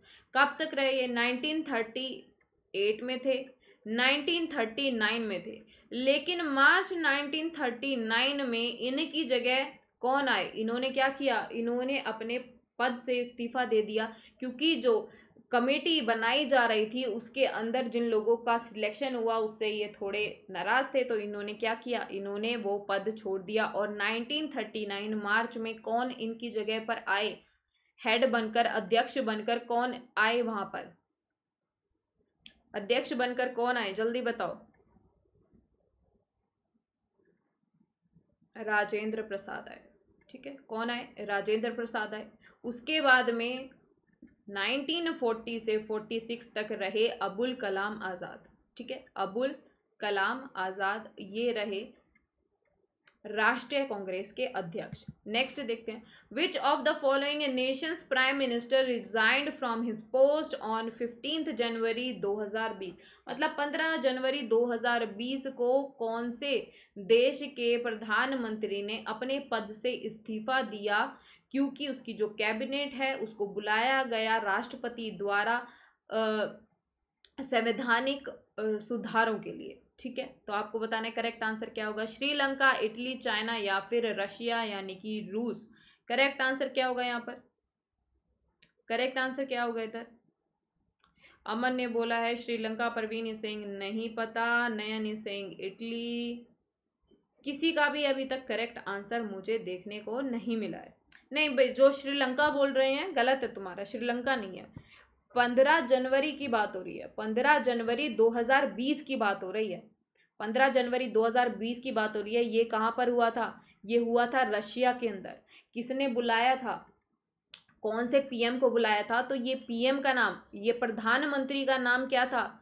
प्रधानमंत्री का नाम था मित्री, पता नहीं इनको प्रोनाउंस कैसे करते हैं? मेड वे डेव पूरा इतना E V D E V जो भी प्रोनाउंसिएशन है, मित्री मेव देव को बोला गया। अपनी जो कैबिनेट है, अपना मंत्रिमंडल लेके, मंत्रिमंडल के साथ में आओ और कौन, किसने बुलाया था? प्रेसिडेंट प्रेसिडेंट कौन है? पुतिन है। कौन है यहाँ पे? व्लादिमिर पुतिन ठीक है? उन्होंने बुलाया उधर। उन्होंने कहा कि मैं इस्तीफा दे रहा हूँ और इस जगह पे किसी और को आप नियुक्त कर सकते हैं। नेक्स्ट क्या है? नेक्स्ट है हमारा millions of years ago the Indian subcontinent यानी कि लाखों साल पहले भारतीय उपमहाद्वीप का एक बड़ा समुद्र द्वारा मुख्य भूमि से अलग कर दिया गया था, उसे क्या कहा जाता है? कौन सा समुद्र है जिसने भारतीय उपमहाद्वीप को अलग कर दिया था मुख्य भूमि से? देखो, पहले क्या होता था कि यहाँ पर बहुत सारा पानी है और फिर एक बहुत सारा। यहाँ पर क्या होता था? पेंजिया नाम का एक बड़ा लैंड एरिया था। पेंजिया नाम का एक बड़ा लैंड एरिया था। क्या हुआ कि उसके काफ़ी सारे टुकड़े हो गए। टुकड़े क्यों हो गए? बहुत सारी फोर्स जैसे गुरुत्वाकर्षण जो हमारा फोर्स है ग्रेविटेशनल फोर्स है, आसपास जो पानी था, उसका प्रेशर और ये करके उसके काफ़ी सारे टुकड़े हो गए। ठीक है? काफ़ी सारे इसके क्या हो गए? टुकड़े हो गए और अलग अलग जगह पे जाने लगे। फिर एक दो टुकड़े जो बीच में तेथिस सागर आता है तेथिस सागर आता है उन दो टुकड़ों में जैसे अभी आप जो हिमालय रेंज देखते हो ये भी उसी का कारण है कि यहाँ पर एक टुकड़ा यहाँ पर एक टुकड़ा और बीच में ये जो एरिया आ गया पानी का इसमें जितने भी यहाँ पे आके टकराने को हुए तो इसके बीच में जितना भी आ, कंकड़ पत्थर जो भी थे वो फॉर्म करके क्या उठ गया? तो यहाँ पर हिमालय उठ गया। तभी आप देखते हो आउटर हिमालयाज इनर हिमालयाज बाहरी हिमालय, है ना? आंतरिक हिमालय और शिवालिक की जो रेंज देखते हो inner Himalaya lesser Himalaya greater Himalaya, ये सब देखते हो, ये उसी की वजह से अलग अलग रेंजेस में क्या हो गया? वो पूरे के पूरे माउंटेन यानी कि पर्वत श्रृंखला वहाँ पर क्या हो गई? फॉर्म हो गई। ठीक है? तो ये कौन सा सागर था? ये था तेथिस सागर। कौन सा था? तेथिस सागर था। ठीक है? तो करेक्ट आंसर क्या होगा यहाँ पर? सी तेथिस नेक्स्ट देखते हैं। अरे, निकल जाएगा सुयश। बहुत आसानी से निकल जाएगा। कोई बड़ी बात नहीं है। कोई बड़ी बात नहीं है। देखो, मैं अपनी तरफ़ से ये कर सकती हूँ कि तुम्हारे लिए अलग अलग कंटेंट लेके आ सकती हूँ कि वही घिसा पिटा नहीं कराऊँगी। अलग कंटेंट लेके आऊँगी। तो अब चाहे तुम मेरी फेस्टिवल की क्लासेस उठा के देख लो, चाहे फोक डांसेस उठा के देख लो, चाहे कोई और नेशनल पार्क हो वाइल्ड लाइफ सेंचुरी हो तो मैंने ऐसे क्वेश्चंस डाले हैं जो थोड़े हटके हैं, वो नहीं जो घिसे पिटे करते हुए आ रहे हैं। तो आप चाहो तो देख सकते हो, देखो खुद देख लो, मेरे कहने पे मत जाओ, खुद देखो और जानो। पहले इस्तेमाल करें, फिर विश्वास करें तो जाओ, इस्तेमाल करो उन पीडीएफ को और देखो। पीडीएफ मिल जाएँगी आपको इस चैनल पर, शीतल शर्मा ज़ीरो वन जिनकी नहीं है, उनकी डाल दूँगी। Which of the following Indian state does not share its boundaries with Nepal इनमें से कौन सा ऐसा राज्य है जो नेपाल के साथ अपनी सीमा साझा नहीं करता है? सिक्किम, असम, उत्तराखंड और वेस्ट बंगाल। करेक्ट आंसर क्या होगा? देखो, पाँच ऐसी भारत के राज्य हैं, ऐसे पाँच जो नेपाल के साथ में सीमा साझा करते हैं। और इनमें से एक ऐसा है जो नहीं है। तो बता दो आंसर क्या होगा? तो बता दो इधर आंसर क्या होगा? बता दो इधर क्या होगा आंसर। बहुत अच्छे, पवन। पवन ने तो पूरा ही यहाँ पर मेंशन कर दिया है। बिल्कुल, जाके देखो कंटेंट देखो कैसा है। और कंटेंट आगे तक मैं ऐसा रखूँगी। ऐसा नहीं कि वो जो आता है, क्योंकि तुम्हें भी पता है कि वेरिएशन चलती है। वही नहीं पूछा जाता तो जो हमें, हमेशा आता है। लेकिन फिर भी उस चीज़ को हम साइड नहीं रखते कुछ क्वेश्चन वो भी डालते हैं जो फ़ेमस है। लेकिन बहुत सारे क्वेश्चन ऐसे करते हैं जो हम नहीं जानते हैं। ठीक है? तो करेक्ट आंसर यहाँ पर क्या होगा? करेक्ट आंसर होगा आसम जो लोग बोल रहे हैं, सिक्किम नहीं भाई, गलत हो गया। करेक्ट आंसर क्या होगा? आसम आसम के साथ में नेपाल अपनी सीमा सीमा साझा नहीं करता है। किस किस के साथ में करता है? उत्तराखंड के साथ में करता है। उत्तराखंड के साथ में करता है। बिहार के साथ में करता है। बहुत सही, उत्तराखंड के साथ में करता है, बिहार के साथ में करता है, यूपी के साथ में करता है, सिक्किम के साथ में करता है और लास्ट में किसमें पश्चिम बंगाल यानी कि वेस्ट बंगाल के साथ भी साझा करता है। तो ये पाँच ऐसे राज्य हैं जिनके साथ में नेपाल अपनी सीमा साझा करता है। नेक्स्ट है who among the following wrote Akbarnama? अच्छा अकबरनामा, मैंने जब तुम्हें ये किताब कराई, जो बुक्स एंड ऑथर्स कराए तो मैंने तुम्हें एक ट्रिक बताई थी कि अकबरनामा, अकबर ने किसको फंसा के अकबर ने किसको फंसा के अपनी दोनों किताबें लिखवा ली? अकबर नामा और एन ए अकबरी नाम की दो किताबें लिखवा ली। किसको फंसा के? अकबर ने किसको फंसाया? तो फजल को फंसाया। ठीक है, फजल फंसा। ठीक है तो अबुल को फंसाया अकबर ने और अकबर नामा और एन ए अकबर, अकबरी नाम की दोनों किताबें लिखवा ली। किससे? अबुल फजल से। और आपको पता है ये किताबें किसमें लिखी जाती थी? मुगल दरबार में किताबें, जितनी भी किताबें, जितना भी इतिहास था मुगल दरबार का, वो सारा किसमें लिखा जाता था? वो लिखा जाता था आपका पर्शियन लैंग्वेज में, यानी कि फारसी भाषा में। अमीर खुशराव इन्हें किस नाम से बुलाया जाता है? अमीर खुशराव को किस नाम से बुलाया जाता है? किस नाम से बुलाया जाता है? इन्हें बहुत फेमसली बोलते हैं इस नाम से। क्या नाम है वो? नाम सुना है? तोता ए हिंद। तोता ए हिंद। इसके नाम से इनको बुलाया जाता है किसको? अमीर खुशराव को। बहुत सारे इन्होंने इंस्ट्रूमेंट मतलब वादकों के ये जनक थे इन्होंने बहुत सारे इंस्ट्रूमेंट्स को इंट्रोड्यूस किया, बहुत सारे वादकों को ये सबके सामने लेके आए। इन्होंने बताया कि ये ये वादक हैं। ठीक है? तो उनको काफ़ी सारे इंस्ट्रूमेंट्स के ये जनक रहे हैं। इन्होंने उनका डिस्कवरी किया है। नेक्स्ट है which of the following units is measured for the use for the measurement of luminous intensity यानी कि निम्नलिखित में से किस इकाई का प्रयोग चमकदार तीव्रता को मापने के लिए किया जाता है? कैंडेला तिल एम्पियर या फिर, देखो ये तिल गलत ले दिया इन्होंने मोल की वजह से। या फिर एम्पियर या फिर कैलविन करेक्ट आंसर क्या होगा? करेक्ट आंसर क्या होगा? बिल्कुल सही। तबला एंड सितार। उन्होंने वो दोनों वादक लेके आए थे वो। बहुत अच्छे, बिल्कुल सही। परवीन, सुयश, अमन, विवेक, अनुज, नयन, पवन, हर्षिल, एजे। बहुत अच्छे। सभी का करेक्ट आंसर है। करेक्ट आंसर क्या है? कैंडला। जब भी हम किसको चमकदार तीव्रता को मापने के लिए किसको यूज़ करते हैं? कैंडला को। अच्छा मोल किसकी यूनिट है? मोल ये जो यूनिट है, ये कौन से सब्सटेंस की कौन सी चीज़ की ये यूनिट है? मोल बताओ फटाफट। मोल बताओ फटाफट, मोल किस चीज़ की यूनिट है? कौन से सब्सटेंस की ये यूनिट है? आपको बताना है करेक्ट आंसर क्या होगा इधर? बहुत अच्छे बहुत अच्छे। मोल कहा जाता है अमाउंट ऑफ़ सब्सटेंस की कितनी मात्रा है किसी एक चीज़ की, किसी एक सब सब्सटेंस की, किसी एक वस्तु की कितनी मात्रा है उसको किसमें नापते हैं? मोल में नापते हैं। अच्छा एम्पियर किसकी है? कैंडेला हमने पढ़ लिया, ल्यूमिनस इंटेंसिटी यानी कि चमकदार कोई चीज़ है, उसकी कितनी चमक है, उसको कैंडेला में हम नापते हैं। एम्पियर, बहुत अच्छे। अमन, बहुत अच्छे। अमन, विवेक, शीतल, सुयश पवन, अपना नाम बोलना इतना अजीब लगता है, अपना नाम लेते हैं तो लेते हुए भी अजीब लगता है। करेक्ट आंसर क्या होगा? इलेक्ट्रिक करंट ठीक है? इलेक्ट्रिक करंट को नापने की जो इकाई है, उसे क्या बोलते हैं? उसको बोलते हैं एम्पियर। फिर आता है कैलविन कैलविन बताओ, जल्दी से बताओ कैलविन कैलविन किसकी इकाई है? किसको नापने की, किसको मेजर करने की यूनिट है कैलविन बहुत अच्छे, बिल्कुल सही। टेम्परेचर टेम्परेचर को नापने की इकाई है। और कैसा? थर्मोडायनोमिक। थर्मोडायनोमिक। तुम देखते हो ना? थर्मोमीटर में थर्मोमीटर में देखते हो कि टेम्परेचर क्या है तो वो क्या होता है? थर्मोडायनेमिक टेम्परेचर की जो इकाई है, वो है केल्विन और इसको डिग्री और फेरानाइट में भी मेजर किया जाता है। नेक्स्ट है which of the following is a well known place for chikankari embroidery लड़कियों को पता होगा ये। चिकनकारी की कढ़ाई के लिए सबसे प्रसिद्ध स्थान कौन सा है?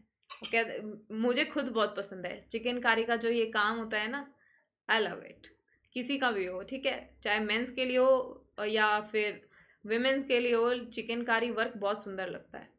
तो कौन सी सिटी है, कौन सा ऐसी जगह है, इंदौर, रायपुर, रांची या फिर लखनऊ? मुस्कुराइए, आप लखनऊ में हैं। और लखनऊ में क्यों मुस्कुराएँगे? क्योंकि वहाँ पर चिकनकारी फ़ेमस है ठीक है? चिकनकारी का काम यहाँ पे सबसे ज़्यादा फ़ेमस है। कुछ लोग इसको चिकन उस वे में ना समझ ले। नॉन वेज में नॉन वेज नहीं चिकनकारी का काम होता है थ्रेड का काम होता है एम्ब्रॉयडरी होती है कढ़ाई होती है।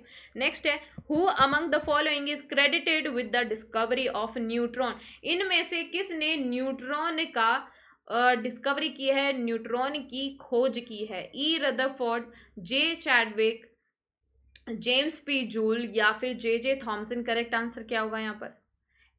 करेक्ट आंसर क्या होगा इधर? न्यूट्रॉन्स की खोज किसने की है? बहुत अच्छे। बहुत अच्छे, बिल्कुल सही। चैडविक जे चैडविक इन्होंने की है न्यूट्रॉन की खोज। अच्छा ये बता दो रदरफोर्ड ने किसकी खोज की है? ई रदरफोर्ड नाम है पूरा अर्नस्ट अर्नेस्ट रदरफोर्ड नाम है इनका, इन्होंने किस चीज़ की खोज की है? किसके खोज करता है ये? अर्नेस्ट किसके खोज करता है? इन्होंने दो चीज़ों की खोज की है। एक तो है आपका प्रोटोन और दूसरा कौन सा है? न्यूक्लियस। ठीक है? न्यूक्लियस। न्यूक्लियस और किसकी? न्यूक्लियस और किसकी? प्रोटोन की। अच्छा अगर मैं आपसे पूछूँ, इलेक्ट्रॉन की खोज किसने की है? इलेक्ट्रॉन के खोजकर्ता कौन है? इलेक्ट्रॉन के खोजकर्ता कौन है तो आंसर क्या होगा? इलेक्ट्रॉन के खोजकर्ता कौन है तो आपका आंसर यहाँ पर क्या होगा? करेक्ट आंसर क्या होगा? बहुत अच्छे, बिल्कुल सही। थॉमसन, जे जे थॉमसन ने करी है इलेक्ट्रॉन की। जे जे थॉमसन ने किसकी की है? इलेक्ट्रॉन की की है।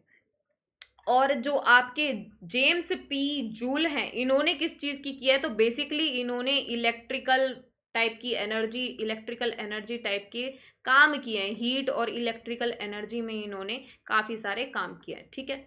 लेकिन डिस्कवरी में आज सच इनका नाम नहीं आता है।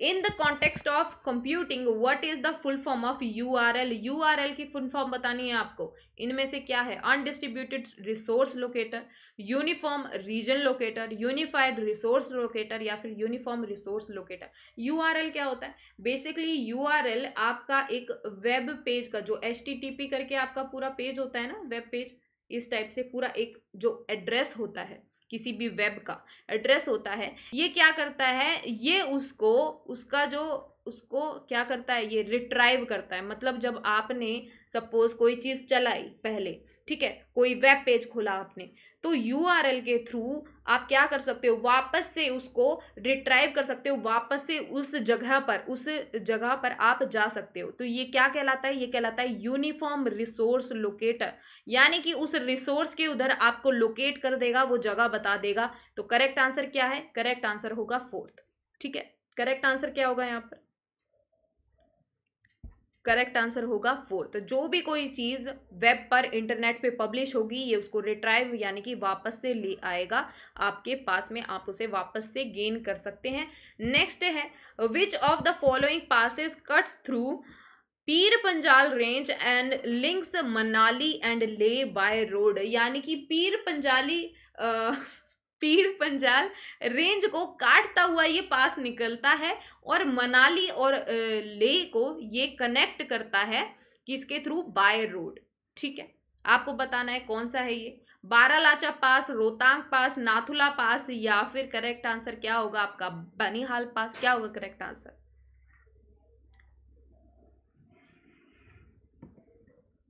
आंसर बताओ क्या होगा?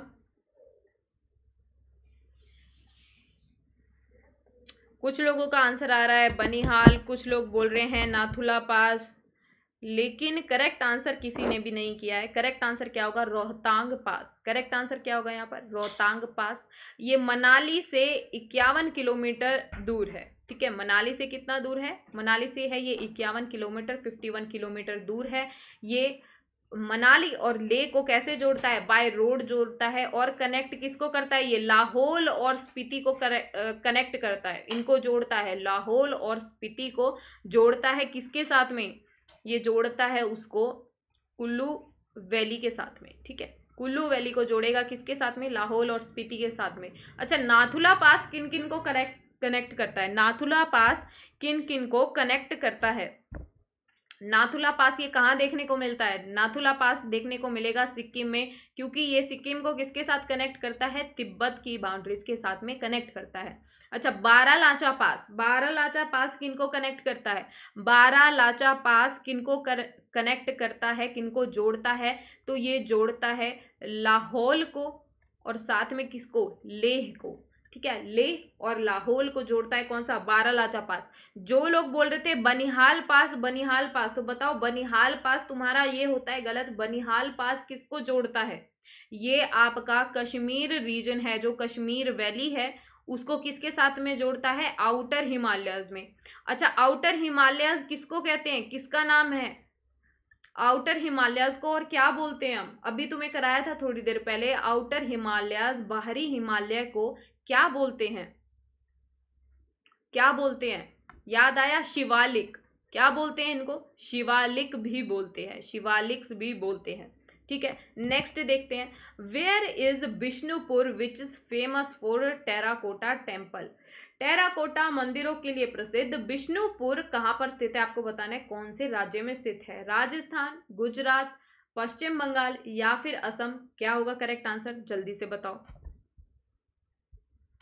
जल्दी से बताओ क्या होगा यहाँ पर करेक्ट आंसर फटाफट से जितने भी लोग हैं प्लीज़ एक बार सेशन को लाइक कर दो और शेयर करना मत भूलिएगा।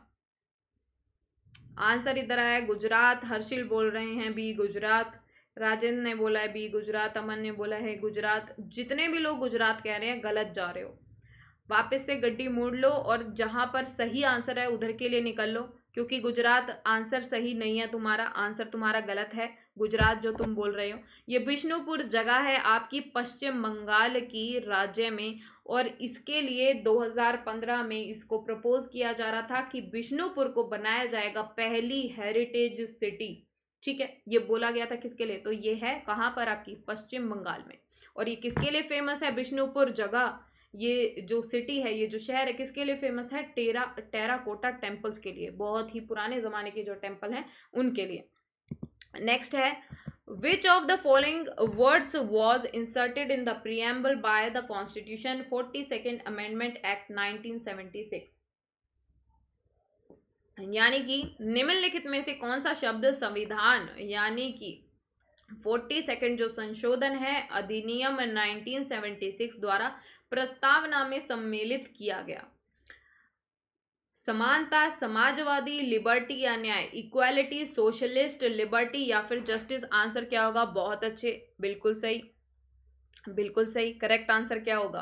करेक्ट आंसर होगा सोशलिस्ट अच्छा दो शब्द जोड़े गए थे। सोशलिस्ट के साथ साथ और कौन सा शब्द जोड़ा गया था? सोशलिस्ट के साथ साथ और कौन सा शब्द जोड़ा गया था? अब किस टाइप का ये लिखते हैं? इसमें लिखते हैं sovereign socialist secular democratic republic ठीक है? डेमोक्रेटिक रिपब्लिक ये कुछ इसमें से वर्ड्स हैं। ठीक है? ये जो ऐड हुए हैं, और अभी कौन सा ऐड हुआ है? अभी इसके अंदर फोर्टी सेकेंड अमेंडमेंट के अंदर कौन से ऐड हुए थे? सोशलिस्ट और सेक्युलर वर्ड ऐड हुए थे तो करेक्ट आंसर क्या होगा? बिल्कुल सही।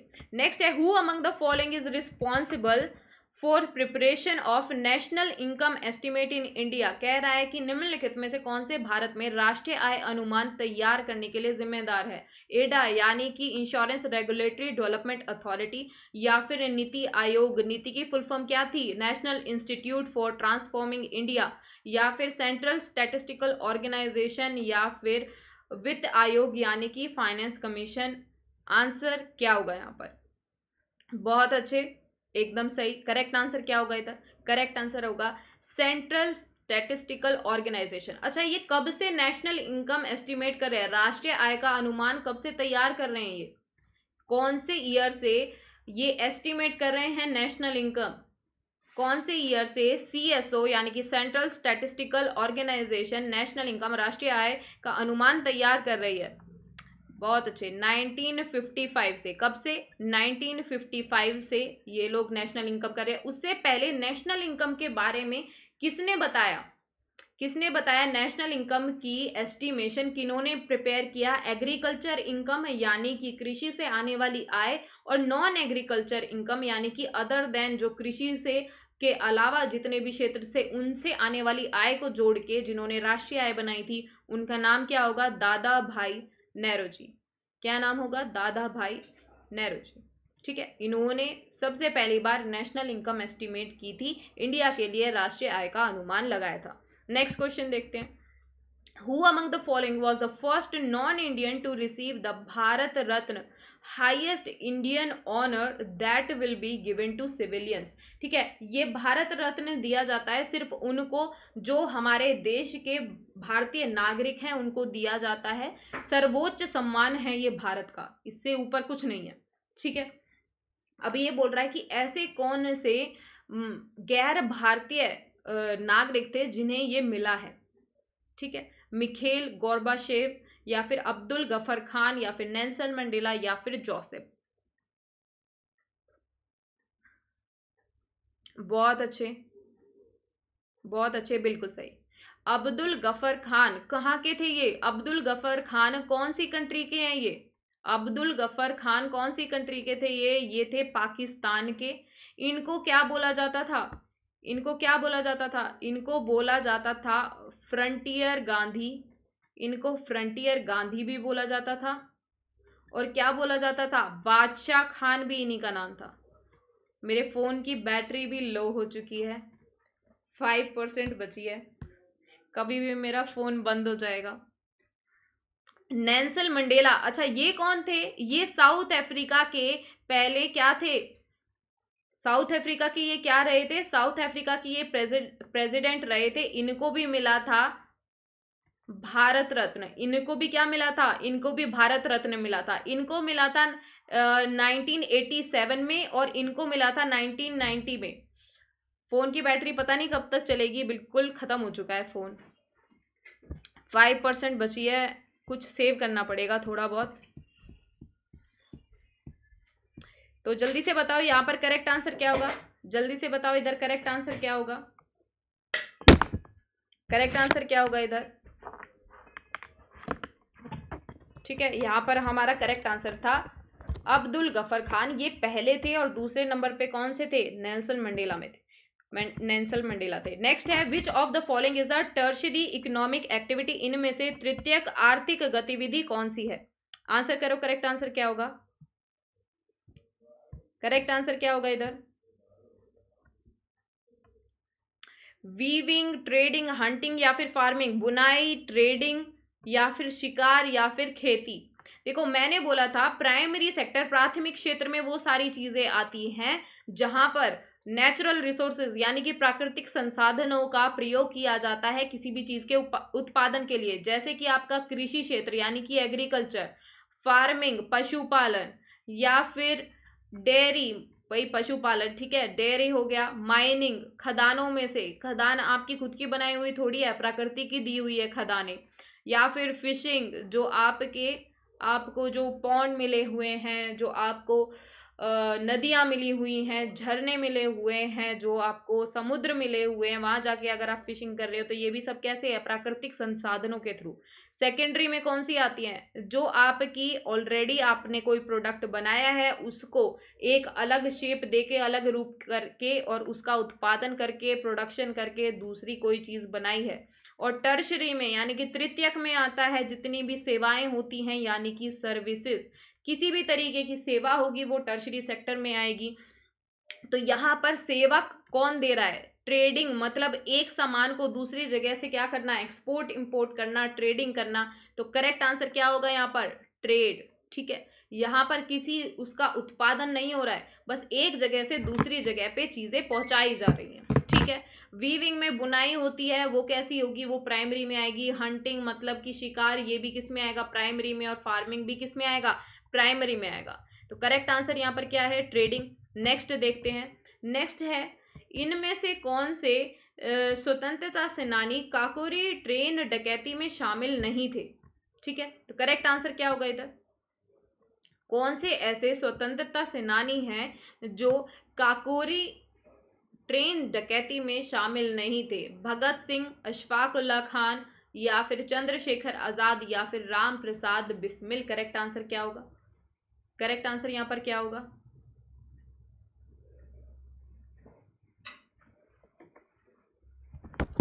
करेक्ट आंसर इधर क्या होगा?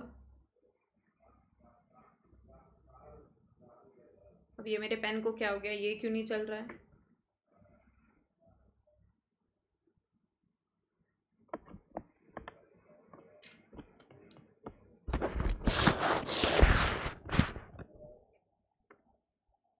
एक सेकेंड।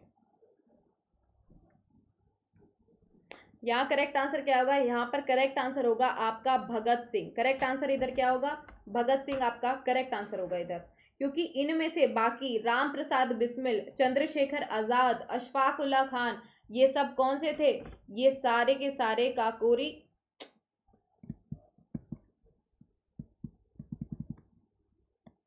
क्या हो चुका है? हम्म। ये सारे के सारे, ये बाकी तीन, ये सारे के सारे किसमें मिले हुए थे? काकोरी, डकैती, ट्रेन डकैती में शामिल थे, ठीक है?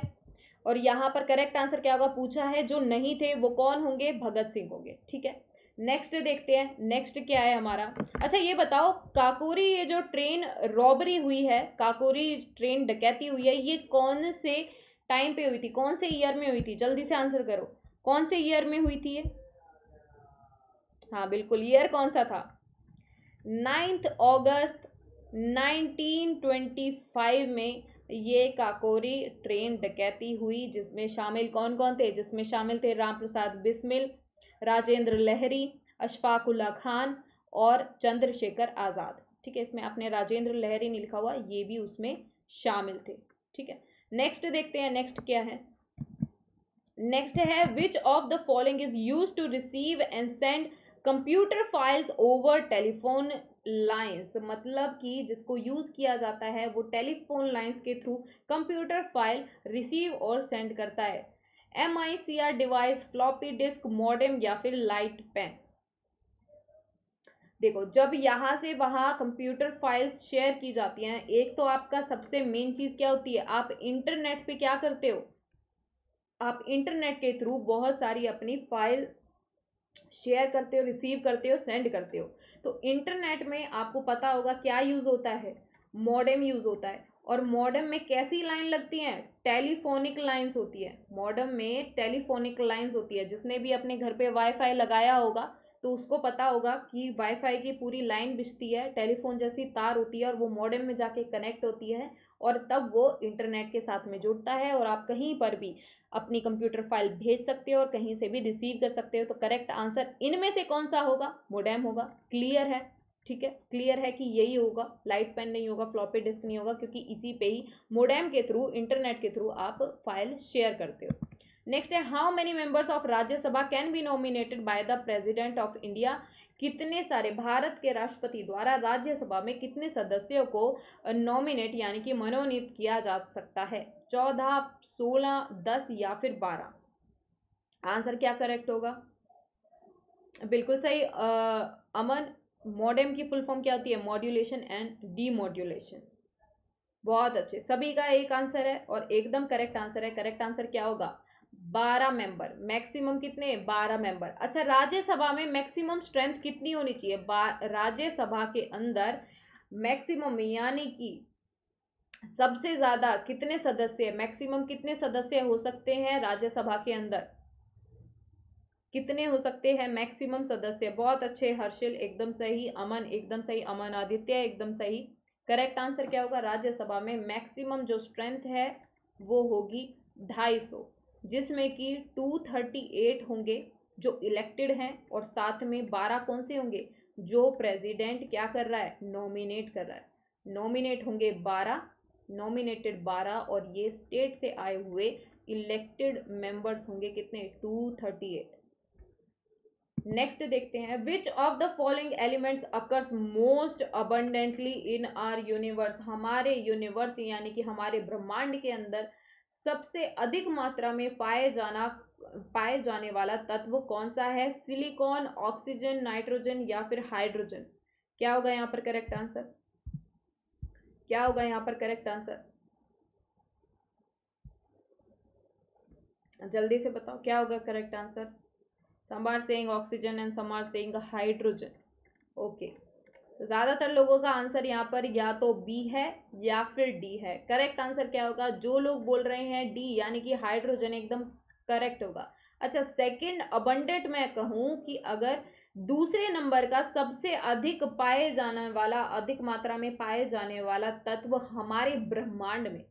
अर्थ की बात नहीं हो रही है, पूरे ब्रह्मांड में हो रही है। मतलब जितने भी प्लैनेट्स हैं, ब्रह्मांड में जितनी भी चीज़ें हैं, अर्थ के साथ साथ और भी तो बहुत सारे ग्रह हैं, पृथ्वी ग्रह के अलावा भी बहुत सारी चीज़ें हैं ब्रह्मांड के अंदर। तो हाइड्रोजन तो सबसे ज़्यादा मात्रा में पाए जाने वाला तत्व है। उसके अलावा कौन सा होगा? बहुत अच्छे, प्रवीण रंगा, बिल्कुल सही। करेक्ट आंसर क्या होगा? हीलियम। दूसरे नंबर पर आता है। हीलियम और पहले नंबर पे कौन सा है? हाइड्रोजन। ठीक है। नेक्स्ट देखते हैं। नेक्स्ट क्या है? The Thar desert also known as great Indian desert lies towards the western margin of dash hills ये थार जो डेजर्ट है, जिसे ग्रेट इंडियन डेजर्ट भी कहा जाता है, ये कौन सी ऐसी पहाड़ियाँ हैं जिसके पश्चिमी किनारे पर स्थित है? अरावली, जावदी, शेवरॉय या उदगल कल? क्या होगा करेक्ट आंसर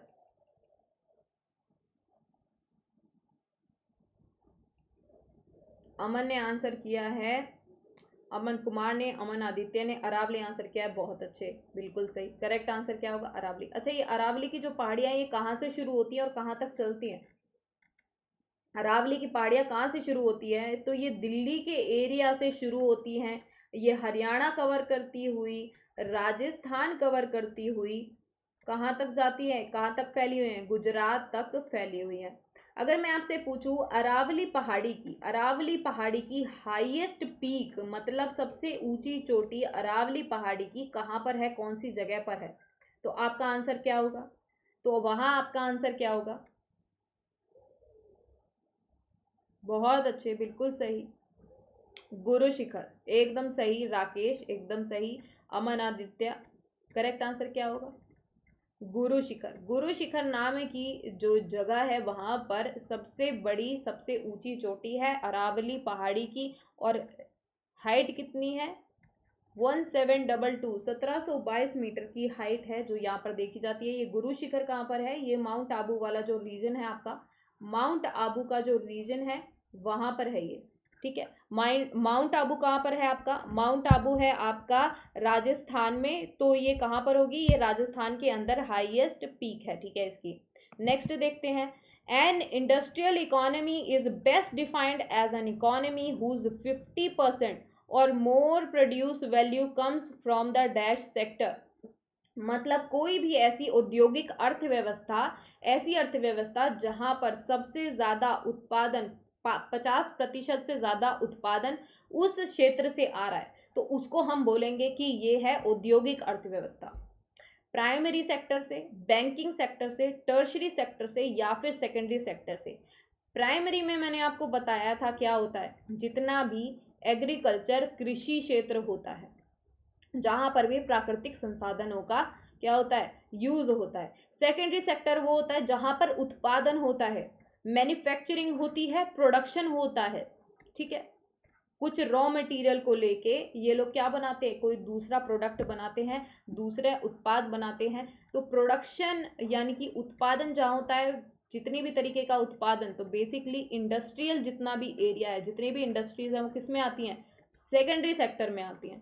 अगर हम कहें कि इस अर्थव्यवस्था में पचास प्रतिशत से भी ज़्यादा जितना भी उत्पादन हो रहा है, वो सारा कहाँ से आ रहा है? सेकेंडरी सेक्टर यानी कि औद्योगिक, यानी कि सेकेंडरी सेक्टर कैसा? औद्योगिक सेक्टर है। तो उसको क्या बोलेंगे? औद्योगिक अर्थव्यवस्था बोलेंगे। तो करेक्ट आंसर क्या होगा? करेक्ट आंसर होगा सेकेंडरी ठीक है? नेक्स्ट देखते हैं। नेक्स्ट क्या है? Which of the following gases is refer to as laughing gas इनमें से कौन सी गैस को बोला जाता है laughing gas carbon dioxide carbon monoxide nitrous oxide या फिर सल्फ़र डाइऑक्साइड करेक्ट आंसर क्या होगा यहाँ पर? करेक्ट आंसर इधर क्या होगा?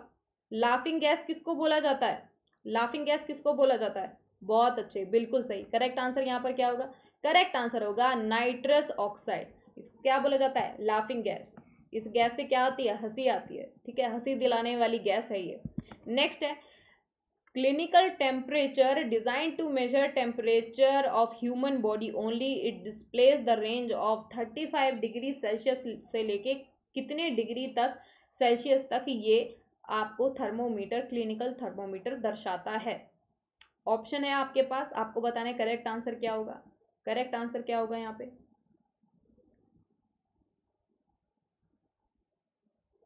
बहुत अच्छे। करेक्ट आंसर क्या होगा यहाँ पर? करेक्ट आंसर नहीं नहीं।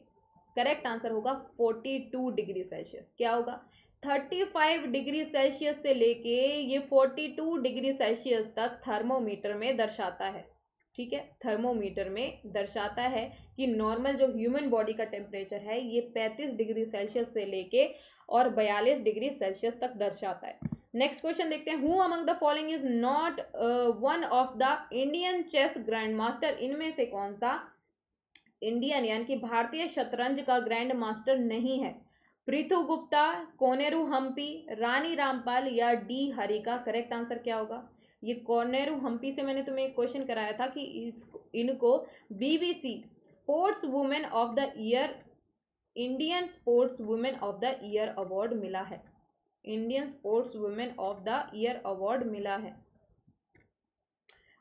ठीक है? करेक्ट आंसर बिल्कुल सही। करेक्ट आंसर क्या होगा? रानी रामपाल। ये चेस से रिलेटेड नहीं है। ये किससे रिलेटेड है? ये हॉकी से रिलेटेड है। इनको 2020 में राजीव गांधी खेल अवार्ड मिला है। राजीव गांधी खेल अवार्ड मिला है। और राजीव गांधी जो ये खेल रत्न अवार्ड है, अब इसका नाम क्या रखा जा रहा है? अब इसका नाम रखा जाएगा ध्यानचंद अवार्ड ठीक है? राजीव गांधी खेल रत्न अवार्ड है। ये मिला है इन्हें 2020 वाला, हॉकी फ़ील्ड में, हॉकी स्पोर्ट्स में इनके कंट्रीब्यूशन इनके कंट्रीब्यूशन के लिए। नेक्स्ट है, Ganga Sagar Mela is celebrated on the occasion of Makar Sankranti from तेरह से पंद्रह जनवरी के बीच में गंगा सागर जो मेला चलता है, ये कौन से स्टेट में होता है? कहाँ सेलिब्रेट किया जाता है? वेस्ट बंगाल उत्तर प्रदेश उत्तराखंड या फिर बिहार? करेक्ट आंसर यहाँ पे क्या होगा? यहाँ पर करेक्ट आंसर क्या होगा? देखो, ये मेरा टेलीग्राम चैनल है, यहाँ पर ज्वाइन करना ना भूलें। पीडीएफ के लिए और क्विज के लिए यहाँ पर ज्वाइन करें। ये मेरा इंस्टा आइडिया यहाँ पे भी फॉलो कर सकते हैं और यहाँ पर ज्वाइन करना मत भूलेगा आपको क्लास की नोटिफिकेशन आती रहेगी। मेरी दो क्लास होती है दिन में, एक होती है सुबह ग्यारह बजे इकोनॉमिक्स की। इकोनॉमिक्स की क्लास होती है सुबह ग्यारह बजे और फिर होती है हमारी क्लास रात शाम को पाँच बजे किसकी? स्टैटिक जीके की। ठीक है स्टैटिक जीके और जीएस की क्लास होती है शाम को पाँच बजे तो जुड़ना ना भूलिए मेरे साथ सुबह ग्यारह बजे और शाम को पाँच बजे। यहाँ पर करेक्ट आंसर क्या होगा? पश्चिम बंगाल के अंदर गंगा के तट पर मनाया जाता है गंगा सागर मेला।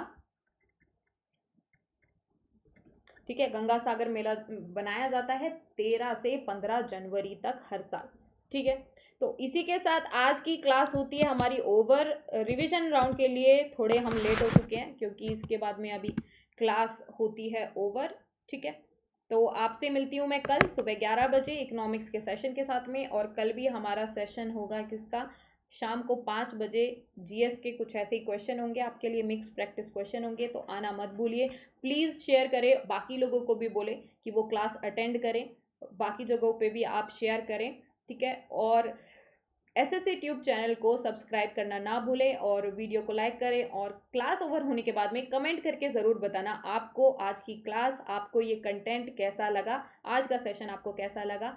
तो कमेंट करना मत भूलेगा। Thank you so much class bye and take care